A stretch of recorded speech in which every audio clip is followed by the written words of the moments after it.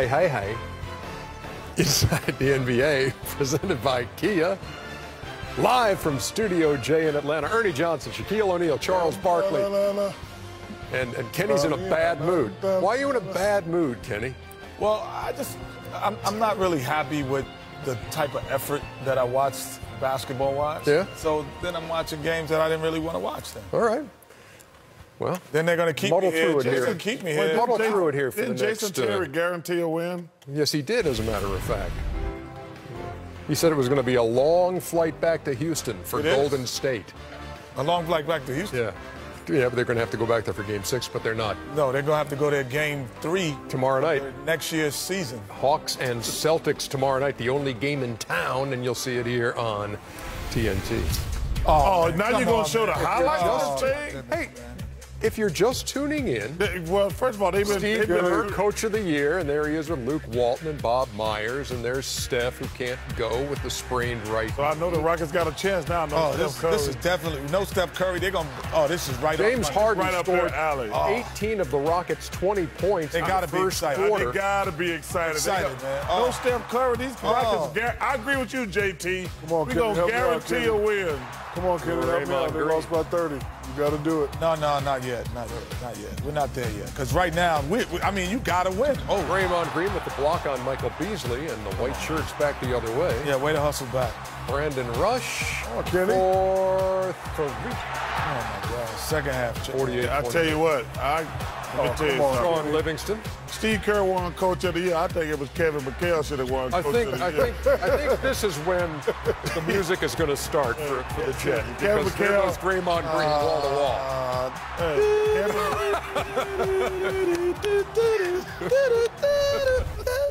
Ralph Sampson rolling over in his grave. Mario Elie rolling over in his grave. Vernon Maxwell rolling over in his grave. Kenny Smith rolling over in his grave. Don't ever say Clutch City in this sentence again. Ray Thompson. A half court by Curly Neal. oh, my goodness. Curly Neal with the half court oh. shot. Wow. Here comes the bucket of water, ladies and gentlemen. The pail with the water inside of it. Oh, it's confetti. Oh, I thought it was a real thing. 114 to 81. Golden State closes out the Houston Rockets, and since uh, since Steph went down with the right knee sprain, they outscored the Rockets by 60. That's ridiculous, Ernie. Come on, man. Six zero. 114 81. Here's uh, Oh, man. JB Oh, Bickerstaff. Got me crying. JB, some thoughts about what after what happened out there. Um, to me, this isn't about one game, right? To me, this is about the opportunities that we've had the entire year uh, that forced it to come down to this game, that forced it to come down to us being the eighth seed. Um, for me and for all of us, you know, I hope this was a learning experience the importance of seizing every opportunity that you're given, the opportunity of taking full of every uh, full advantage of every situation that you're in. Um, you know, these years in the NBA are priceless, and these years in the NBA aren't guaranteed to anybody. So when you're in these moments, you have to take full advantage of these moments, and unfortunately, we didn't do enough of that this year, and that put us in the eighth seed and put us in a very difficult position uh, to play against, you know, the best team in the history of basketball. Um, so, for me, that's the bigger picture. That we learn our lessons. 114 to 81, the final score. I'll, I'll leave it up to you. You want to you want to put a period on the Rockets season now, or talk about Golden State now? Because we're going to do both. I'm not saying anything about the Rockets. Talk about guys learning their lesson. All those jokes you had when the There you cameras was go. off. Now you ain't going to say you that? go. I'm not saying anything about the Rockets. I apologize to Daryl Morey, Tad. And No, no, that was doing the, what happened tonight, man. Talk about that. Ernie, uh, Kenny, that was Embarrassing. embarrassing. I mean, that team plays with no energy and no passion. You, you would think, you look at, you know, Ernie put the stat out earlier. from the time that Steph Curry has gotten hurt, you think it would energize them. Because they were tired the other day uh, at halftime, ended up losing that game by over 20. And then to come out tonight and lose by 30, that tells me that team, and I don't ever, they, they got no passion whatsoever, man. I mean, they just go through the motions. And that's the one thing you can't do in pro sports, just go through the motions. You can get beat by a better team, but if you just go through the motions, you're going to get humiliated, especially by the team the way the Warriors play. And that sounds like what JB was saying in essence, too, is like these are valuable times. These are precious times. You're in the NBA, you've got opportunities like this, and you got to embrace them. And they, they did not do that at all. They didn't do it at all. You know, Jay Breed made some correct statements. I think they're definitely going to have to break this team up. Definitely going to have to break this team up. This team all year long has not had an identity. Uh, they don't play together. Uh, they don't come out and play hard enough. Uh, they didn't stick up for each other. You know, a lot of people talk about the other day when James Harden hit, hit, hit, hit the big shot and you looked at the bench. Yeah. That told me a lot about that team. You know, a lot of people come back and say, well, it was nothing, blah, blah, blah, but that, that right there told me a lot about the team. You look at Golden State, you got a guy who hasn't played a lot. He comes, he hits a shot in the corner. Everybody on the bench, Steph's going crazy. And teams like that always advance and do well. But you know, Coach Bickerstaff was right. They didn't mm. they didn't seize many opportunities. But tonight they, they didn't bring it. You know, Charles make a, great point. Steph is down. We have a chance to come back and win. Didn't play hard to you know get blown out by 30. We call it a, a go far, early. G O F A W. You know, and, and, and, I feel bad. I feel I, I feel bad for young Mr. Bickerstaff because He's been in the league long. His dad was a hell of a coach, known him forever. This kid takes over a team. He's got a chance to, you know, get a, a real contract mm. Out of this situation. If they have a great year and go make win a couple rounds, you know, he, you don't ever know when you're going to get an opportunity to be a head coach again. Yeah. And but this has zero reflection upon him. This team, they they don't like each other at all. You could just tell. Yep you know, and, and I've been on good teams and bad teams, but this team, their body language, they're not happy for each other. Oh, it looks like just like five guys playing basketball. Yeah, street yeah, like a well, like. The, the word that I always come up with is engagement. And when you're engaged into a situation, you pay attention to all of the details. So even even to the real, you know, the sense of the word that everyone talks about. You know, you you you get you're about to get married, and it's an engagement. So you start paying attention to the details of what the other person needs and wants and going to have.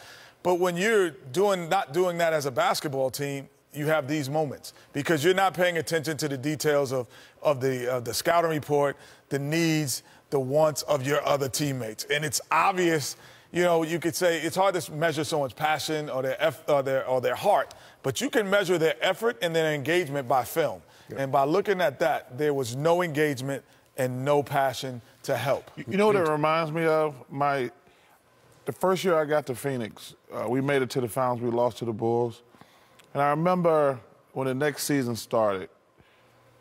I knew I, I was telling my friends. I said, I don't think we're gonna make it back to the finals, because that first year in Phoenix, nobody complained about playing time. Nobody complained about who made salary and things like that. So um, we just wanted to win. Everybody was happy for each other. That second year in Phoenix, guys started complaining about like, well, I should be getting more playing time. I should be making more money than that guy. And we weren't happy for each other. We lost to the Rockets twice. We said y'all wasn't gonna win either. Yeah, but, but you know, we you could just tell we were not happy for each other like that first year we played together. Mm. Meantime, on the Golden State side, uh, they advanced to the Western Conference semifinals. They will play either the Portland Trailblazers or the Clippers. They swept the Clips, and you know the situation LA's in now. And Portland was able to win one out of the four, and uh, that one was the night uh, Damian Lillard went for 51. He, he could get it again without without uh, Steph out there because he goes at him hard. So uh, I'd actually like to see Portland win that series because that'll be a much better matchup. You know, because they, they sweep the Clippers without Chris Paul and Blake. But with them guards they got in Portland, that would be a very entertaining series. When we come back, no Chris Paul, no Blake Griffin. No chance. Clippers in a huge game five with the Blazers, which came down to the fourth quarter. We'll be back.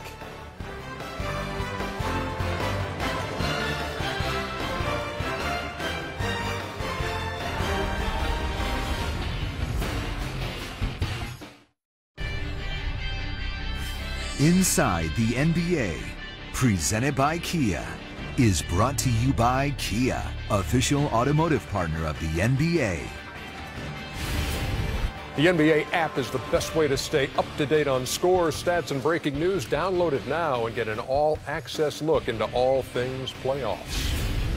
No, the loss of their one two punch was a punch to the collective gut of the LA Clippers. Blake Griffin out for the rest of the postseason. Chris Paul out indefinitely with a broken right hand. But the Clippers still owned the home court advantage in a 2 2 series with the Blazers heading into game five at Staples Center. And in LA, Chris Paul, innocent bystander. Damian Lillard to Mo Harkless for the early three.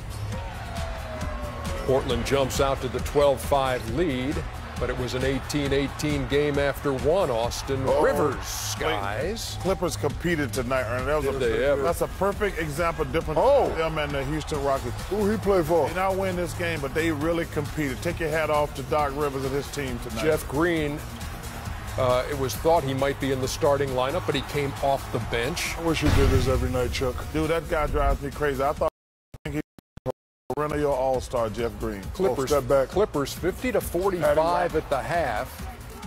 And then Lillard, who didn't score or didn't have a field goal in the first half, connected. McCollum did too, part of a 10 0 run to start the third quarter. Blazers knew they needed this game tonight. They want to get this over quick. Oh, oh! oh. DeAndre Jordan goes Whoa. up high, but they didn't have any field goals the first 5:36 That was of the third quarter. Yeah.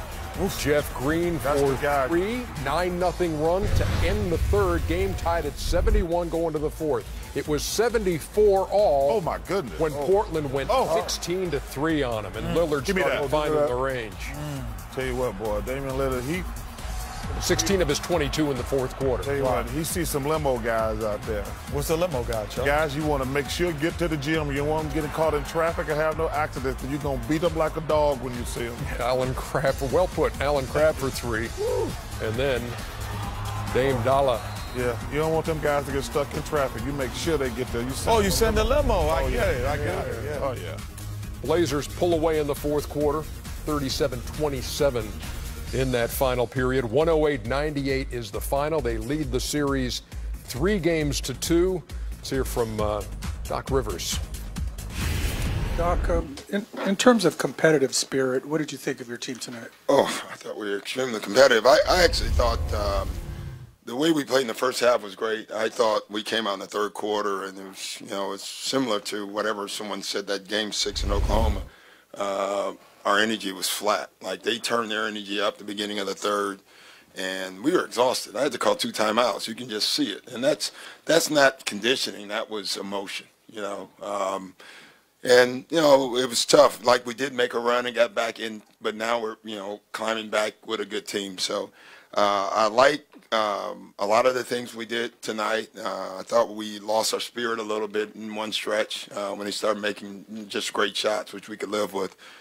But I just thought it was our endurance early in the third, that stretch. They got back in the game. I thought that hurt us. And then uh, the beginning of the fourth, they did it again. Um, so I liked it overall. In terms of just generating offense without Blake and Chris, is that why? Did you just tell Jamal just keep shooting and go as much? Yeah, as you can? yeah. I mean, him, uh, JJ, Austin. You know, the problem was you can see that one stretch, Jamal and Austin were exhausted, and they were stuck with the ball a bunch, and you know, you know, it, it's it's tough, but. Um, you know, we can generate more. I mean, heck, hell, we scored more tonight than we scored two games in Portland. So, uh, with the cold stretches that we had. So, uh, and honestly, I thought Jamal missed great shots at the one stretch. So he'll make more of those.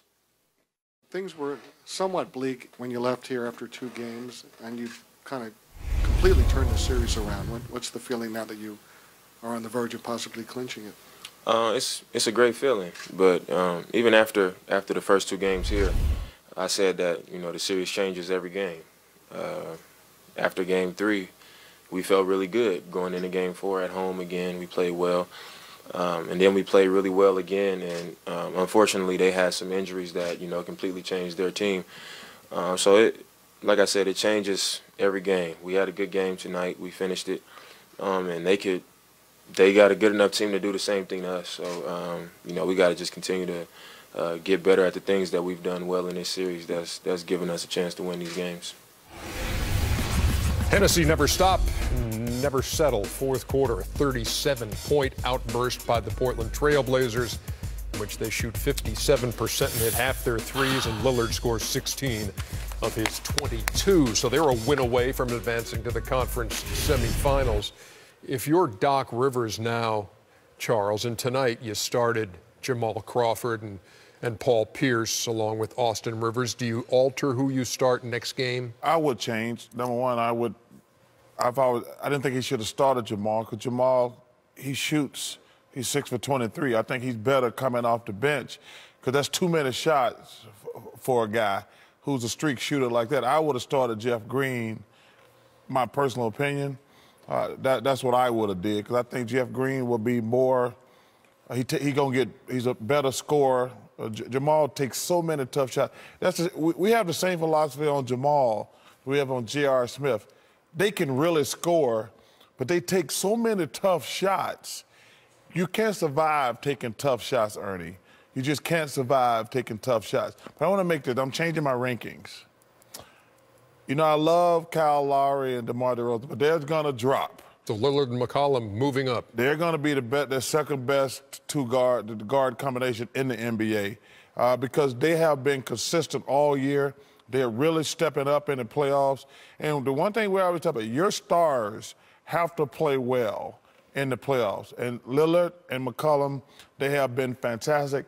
No disrespect to my man Kyle Lowry, love him and DeMar, but that backcourt in Portland, they're the second best backcourt in NBA, in my opinion. You asked me yesterday, Ernie, what what did I think of the Clippers' chances, and I told you I need to see them play tonight. And Doc said they were emotionally drained. I didn't know how they were going to react after the bad news, but I actually saw that in the game. They were kind of tired. They were emotionally drained. Now, does this take all the air out of the wrath now, or do they try to pick it back up and try to force a game seven? We shall see. I mean, but they really, really competed tonight, other than that other game we just saw. Yeah, the four out, one in didn't work. Four guards out with DeAndre, one guy in. You know, they didn't have a conventional lineup. They tried to make, I think, Portland adjust just to something that they might not have seen and been ready for. Uh, but, you know, their small lineup, that just allows McCollum and, and Lillard to have basically, if you pull DeAndre away, away from the rim, there's no size there. And they took advantage of drives, they took advantage of pick and rolls. And they don't uh, start on attack, they stay on attack. They, they are on it from, from the door. There is, they have, right now, they're on the plane, they're in attack mode. Those two guards do not let you stay off of your heels, and that's what's the difference. Yeah, and plus, like I say, the, the Clippers, they got them limo guys. So those guys always on attack. And then when they have a, a on a, they on attack when it ain't a no, limo no, guy. No, no, but I'm saying even when it's not. No, but I'm saying they're always on attack. Right. But then when they see limo guys, oh yeah, they really go crazy. They will try to uh, wrap things up Friday night back at home, Moda Center in Portland. Still to come on inside another pivotal game five in the East. Hornets and Heat running in South Florida. This was the best game of the night. Back will it come Walker. 40 seconds left. Heat need a stop here. Down to Courtney Lee. Another opportunity here. Three on the way. Got it! From downtown Courtney Lee. The Hornets lead 90-88. What a shot.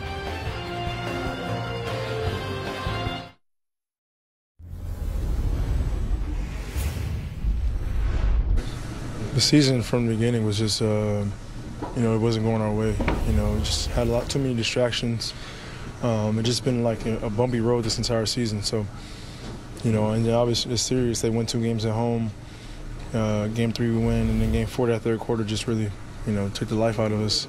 Um, and then when it started this game, it was just they were they were confident, they made shots, and we couldn't get a rhythm, and then uh, that's the game right there. We got to get better individually, uh, up, upgrade our roster. Um, um, you know, we just got to get better. We got to improve. Guys got to improve, work on things that you, you're not really good at or you, you struggle with, and um, come back really confident for next year. Thoughts? Message. we got to upgrade our roster. You know, uh, if, well, the big decision is Dwight Howard's obviously going to leave there. He doesn't in that Jordan situation. But James Harden has to understand he's a terrific offensive player. But I'm not sure I would want to play with him uh, because it's not fun. Uh, you, you, know, Kenny said something, and I 100% agree. When you play for the Golden State Warriors, you feel a part of the team. Like everybody's moving because they're like, oh, I'm gonna get the ball. Like the San Antonio vibe the, too. Same thing with San Antonio. They're the two best teams. Uh, Oklahoma City could be that good if they trusted each other more. But James Harden, he wouldn't be fun to play with because nobody wants like I don't. I guarantee you, I wouldn't want to go to practice every day and just watch him dribble, dribble, dribble, or come to the basket or step back and shoot a three. I mean, what what am I standing out here for? And they can say they want to play small and shoot threes, but you can never get in rhythm. Trevor Ariza used to be one of the best three-point shooters in the NBA. Now he's one of the, he, his, his stats say he's one of the worst, and I don't believe it. I just think he can never get in rhythm because when you get it it's, you, you just surprised you got it, and you can never get in rhythm in that situation. So he has to take a look in the mirror uh, and say, how can I get better? Because all players think it's always somebody else's fault. But when you're a great player, you have to look, you, your job is to make the lesser players better. That's what a great player does. Because you can always go out there and get 30 points a night. Like, when I play with certain guys, I would say, this guy can't get his own shot. I'm gonna help him get a shot. I could have gone out and got 30 a night, and then you know that's the way it is. But my job as, as, the, as the best player on my team is to get other guys involved. Anything to add before we move on, or have we talked Houston uh, out? Yeah, we can walk. We can move on. Yeah, move on. Good call. Uh, Hornets and Heat. Only game in the East tonight. Nick Batum back in there for uh, Charlotte. He would come off the bench in this one. And you know what, Ernie? That was really cool of him because I was surprised. They said he wanted to come off the bench. Hassan Whiteside inside. They're up eight. But then Kemba Walker pulls up, part of a 14 0 run for Buzz City. Charlotte played with a lot of confidence. Stop the ball. Stop. Nope. Jeremy Lin. Tell you what, their guards feel like they can get anywhere they want to anywhere. against Miami guards. They, they, you can just tell they playing with so much confidence. It's unbelievable. Heat in transition. D Wade. Mm, good move, boy. Finger roll. And then D Wade has still got this. Oh, that's a young D Wade right there. Flash. That's a 2006 D Wade. Thank you. Part of a 10-1 run. They're down 43 to 40. It was 49-47 at the half, and then Miami Woo. led by five oh, after three. Great block. Mm. But you still, you know, they just show you they can get any shot they want anytime. Oh, bruh. That's a nickname, Kenny, bruh. Bruh? Yeah, baby Ray Allen. Ray Allen. Got you. B-R-A, dummy. bruh. 78-77 game. And Nick Batum, who had no field goals through three. Luol Deng, the corner three. So Miami up a deuce. Then it's a one-point game for the Heat, and D. Wade bottoms that out. They're up by three.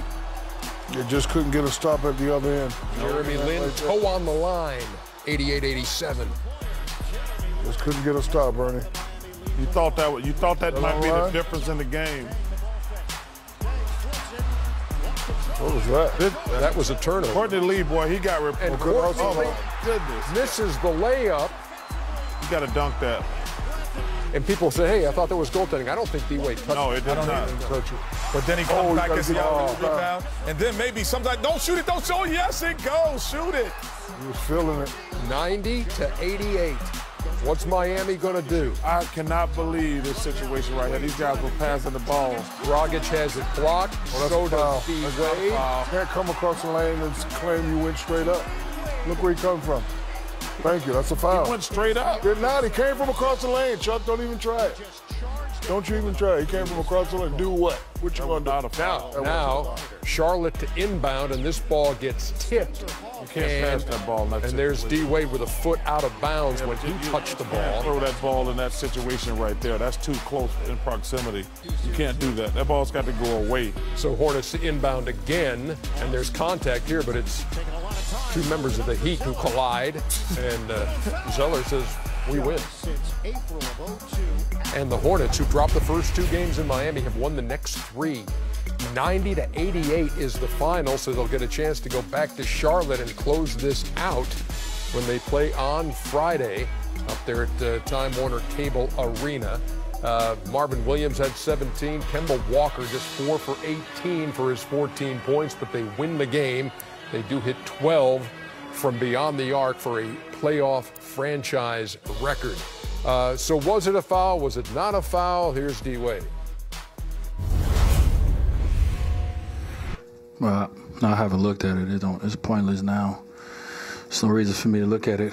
Um, it ain't gonna change anything. Um, I thought I did, um, but it wasn't called. Did you have a chance to look at? No, I didn't. the I, I don't. design? I don't need to. He got fouled.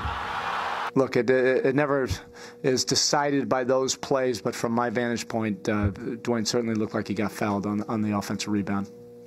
Just wanted to help my team any way that I can. So uh, crashed the glass, got the offensive rebound. I'm not sure who it was. I think it was Jeremy that passed the ball back to me. I was wide open and I just let it fly. And so, I mean, if I if I had to draw it up, I'll I'll take shooting one for eight before I knock down a big shot any day. That's what people are going to see is the rebound and the three. But I'm talking about guarding Dwyane Wade and Joe Johnson, uh, 40 something minutes every single night and making plays on the offensive end. Um, I mean, that guy, that guy has been nothing short of tremendous. He obviously is a terrific athlete and he's got good timing, but this one was the same place really as the one the other night. You know, look, he's made the two biggest plays of the last two games, uh, and they've both been offensive rebounds. Uh, right now, for us, uh, yes, it, it hurts uh, losing at home, but uh, you know, welcome to the playoffs. The playoffs just started now. Being frustrated going to game six does you no good. But tonight, yeah, I mean, you know, my wife got to deal with me tonight. Yeah, no one else. Uh, I'm gonna be pissed off all night until I go to sleep. Coors Light, cold hard facts. I guess that was one of the cold hard facts from D Wade. And, and here's Gabrielle should get a here's get a more. Um, hotel rooms. She's gonna be pissed off all night. Remember Charlotte, fourth in the league in three pointers made this year, and only hit 16 of them in the first four games. They go for 12 in Game Five, and uh, here is. Uh, D's wife. If players, coaches, owners get fined for complaints about poor officiating, makes sense that poor officiating equals fines for the refs. I mean, Well, they actually do. Yeah, they are. Actually, I mean, they do. are monitored fined. all the They're time. Monitored all the time. But I don't know if that was a. Uh, honestly, I don't know if that was a foul. It's a foul, man. You can't come across When I saw it from the baseline angle. Listen, he came like from he across the lane. Well, it wasn't a foul because he didn't It call it. You're Uh, right. He didn't call but it, but he what? came from across the lane. But if you look at uh, Hal just told me their guards, they can't stop their guards from penetrating. Hal just told me interesting that they've shot 60 free throws. They shot 59, so I'm gonna round it up to 60. That's a lot of free throws for guys to get in a five-game series. I mean, they cannot. Jeremy Lin gets by them anytime he wants to. Kemba Walker, even if he didn't shoot a good percentage tonight, he gets a good shot every single time. Unless they found a way to control those guards, uh, Miami's in trouble. Yeah, I, think, I thought the key to the game was Jeremy in the, in the sense that his ability to pass out of the penetration uh, and allow other guys to get going and get opportunities to score. That, I thought that was big throughout the game. Uh, you know, Dwyane Wade, you know, played a great game in terms of he kept his team in it. But this is a, I would not be surprised if we we sitting here watching Game Seven uh, because these teams are that evenly matched. There is no clear uh, advantage that is overriding. Yes, the advantage is the guard penetration, but then there's some advantages that Whiteside and Dwyane Wade have that are probably similar if they're having great nights. Yeah, I mean, it was, especially game four, very tight up there in, in Charlotte, uh, where they'll play game six on Friday. But Courtney Lee, you, I mean, you talk about all those guys. You talk about Al Jefferson, you talk about Lin and Walker, but Courtney Lee, how good does that pickup look now uh, by by the Charlotte Hornets to, I was add, getting ready to say- add him? And, and he's been huge in the last two games in moments. I was getting ready to say you guys make interesting points, but if Miami would have retrieved the rebound that Courtney Lee retrieved and then kicked it back out and then got it back and hit the three, I think we'd be having a different conversation. I think they possibly win that game. They just got out hustled, and you know they, they shot the ball awful first half. We still need more out of Whiteside, and the last play was a foul. But like you said, you know, no use complaining about it now. You know, the guards are killing them, like Chuck said. You know, they, they have to find a way to shut those guards down, but also go back at them. You know, Jerry, uh, Jeremy Lin is playing offense out there, so whoever's guarding him has to have the ability to go back at him, One make him play some defense too. One guy we haven't mentioned who played fantastic tonight was Marvin Williams. Yeah, after a really bad start he- to this series. We haven't, yeah. No, but we haven't mentioned him. But he, his, he was. Batum hit a couple of big threes, but Marvin Williams played fantastic tonight. Seven, yeah, 17 points on 7 of 10 shooting. Um, so they snap a nine game postseason losing streak on the road and set themselves up for a clincher on Friday in Charlotte. Coming up next on Inside, we'll look ahead to the only game on the playoff schedule on Thursday Hawks and Celtics, game six.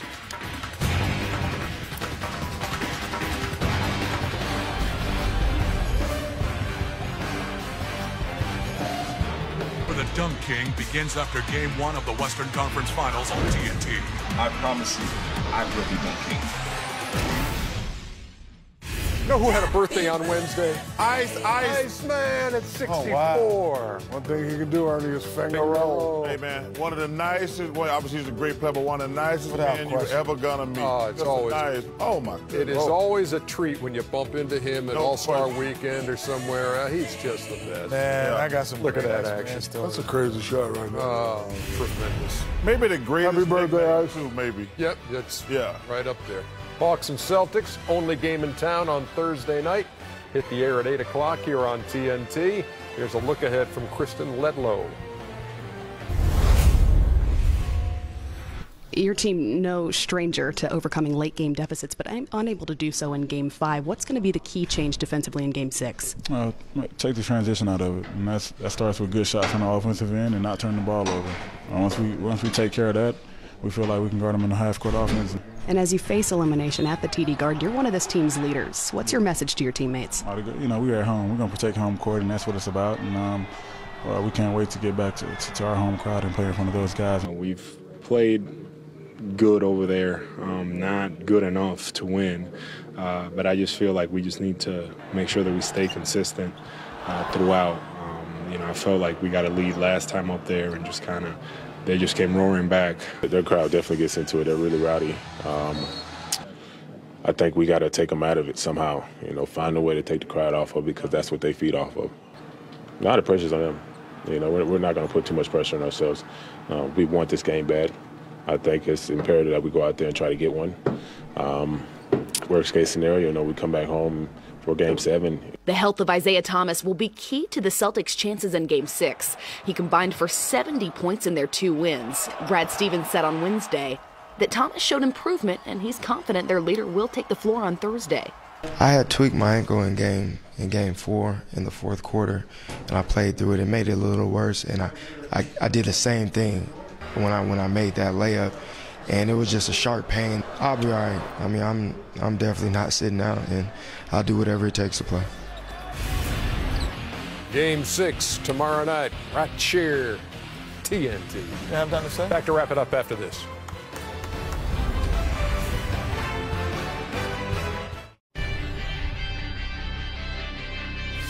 Inside the NBA, presented by Kia, is brought to you by Kia, official automotive partner of the NBA. D League Finals. Jarnell Stokes, the old Tennessee volunteer who played a couple of games for Memphis and three for Miami. Sioux Falls, I've been there, Ernie. Yeah, leading the Sioux Falls Sky Force to the win over the LA D-Fenders. Oh, good pass. Finish it. Oh. He's going to get a contract next year. And I like that. Oh, he's Sioux from Falls, congratulations, South Dakota, winners man. of the I told you, one of my favorite places to play golf. Shout Is the out. Miami affiliate team? Yep, it is.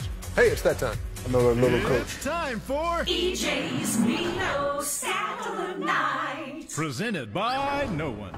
Oh my gosh. Unsullied We, uh, by sponsorship. Yes, I it know. is. Yeah, We can't get one, huh? uh, Oh! Oh, we almost hit necktie. Uh, we have some fishing to do. Yes, we do. Let's some send them fishing fishing. The boat is tired. We cranked him up at halftime. He only has so many. Oh, no. that- Hal, I'm coming up, Hal. We, we, we refueled it. Hey, Fire Marshal Bill, I like your hat. Okay, here you go, Shaq. You're your fire marshal bill. All right, hold on. Ready? Over here. Let me tell you something about Houston. One, two, three. Cancun. hey, I, and I, I don't appreciate that. that my um, Look at Daryl Morey's Yeah, T-shirt. the great J.J. Watt. Says uh, apology, Beyonce. apology accepted. Yeah. Good morning, America. That's funny. Uh, y'all get off my boy straight. Hal, I'm coming up. Hal. Kenny, Kenny, Hal, I'm coming up. Kenny, what did you wear? I don't appreciate that. I don't appreciate that. I do not appreciate that. Hey, Not Beyonce, funny. Beyonce, Oh my Jay-Z, you gotta make a diss Beyonce. record. Kenny, you smuggling them grapes? Oh, man, I ain't. come on, Kenny. Those watermelons. Hal, I'm coming up. Okay, that uh, You're gonna put a. Oh, you're gonna hurt somebody. yeah, that's a wrap Hopefully you don't. For Inside the NBA, presented by Kia for Shaq, Why you always telling them people? for D'Angelo? Kenny, for Chuck, I'm calling. Ernie Johnson. Stop telling them Remember, Thursday night, one game, 8 o'clock, game six, Be Hawks be square. Celtics. I can do both. Uh, we'll see you tomorrow. Let me tell you something. That was hilarious. What the-